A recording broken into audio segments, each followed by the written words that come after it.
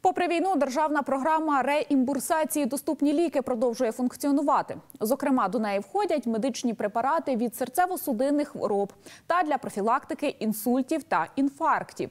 Ліки можуть отримати пацієнти безоплатно або з частковою доплатою. Як їх можна отримати, розповіла Тетяна Бондаренко, заступниця начальниці департаменту охорони здоров'я обласної військової адміністрації. Програмі доступні ліки. Е, Алгоритм дій під час війни не змінювався. Він максимально спрощений для того, щоб кожен е, пацієнт міг отримати ліки або безкоштовно, або з невеличкою доплатою. Е, В першу чергу треба звернутися до сімейного лікаря. Сімейний лікар або терапевт, або педіатр виписує електронний рецепт або паперовий рецепт. Хочу зауважити, що під час війни е, продовжують діяти вимоги постанови Кабінету міністрів України, коли е, аптеки приймають як електронні, так і паперові рецепти, оскільки електронна медична система може е, давати збій або не працювати.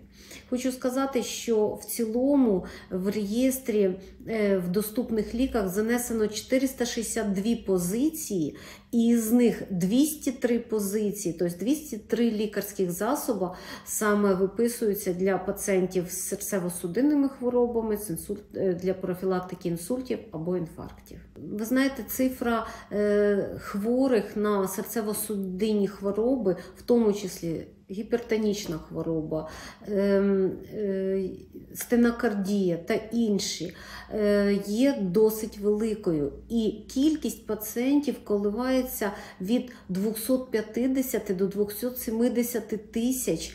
Ем, І вони це кількість пацієнтів. Не всі от потребують лікарських засобів, але 80% людей, які мають серцево-судинні захворювання, е, повинні отримувати певні лікарські засоби. Для цього, щоб визначитись, які саме лікарський засоб необхідний, треба звернутися до сімейного лікаря або до лікуючого лікаря, кардіолога або невропатолога і отримати рекомендації.